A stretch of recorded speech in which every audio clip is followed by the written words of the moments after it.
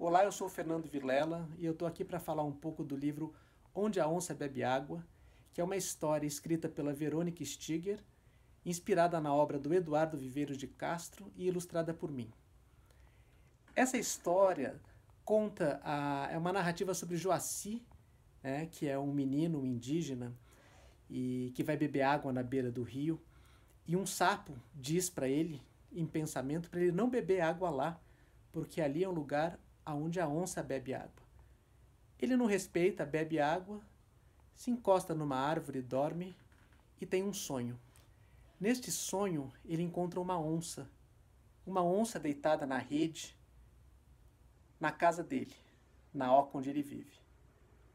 Bom, é, o que eu poderia contar para vocês é que esse livro traz é, de forma bastante é, entusiasmante né, e, e fascinante o pensamento indígena, que é uma das grandes contribuições do antropólogo Eduardo Viveiros de Castro à antropologia contemporânea.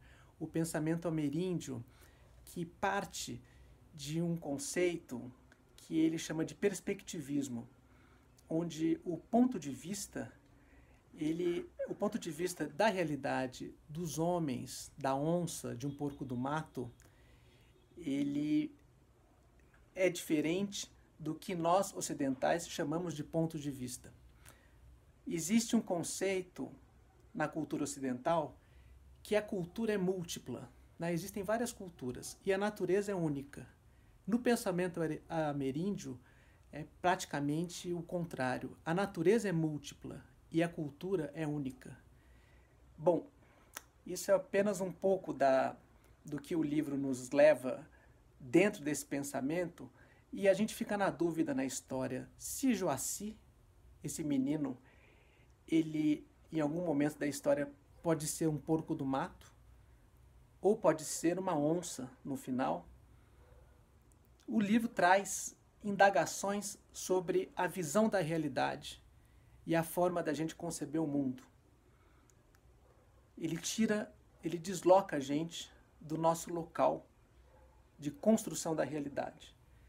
Para ilustrar esse livro, eu mostro aqui um pouco para vocês, eu me inspiro no grafismo indígena de algumas etnias brasileiras.